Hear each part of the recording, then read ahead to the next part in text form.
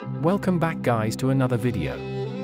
In this video I will provide you a game booster which help you to increase your game FPS without root and custom ROM. Please watch full video and don't skip any part of the video. After downloading app install it.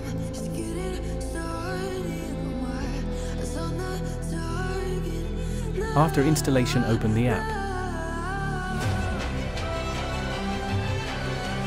The app take few seconds to open after installation. After opening choose the game which is lagging in your device.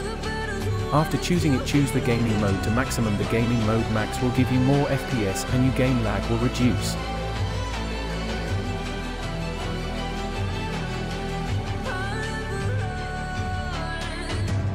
Best to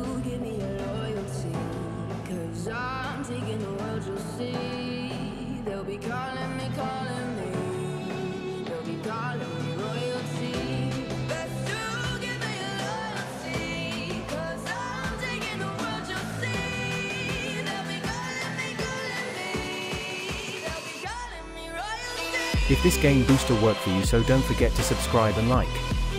Thanks for watching.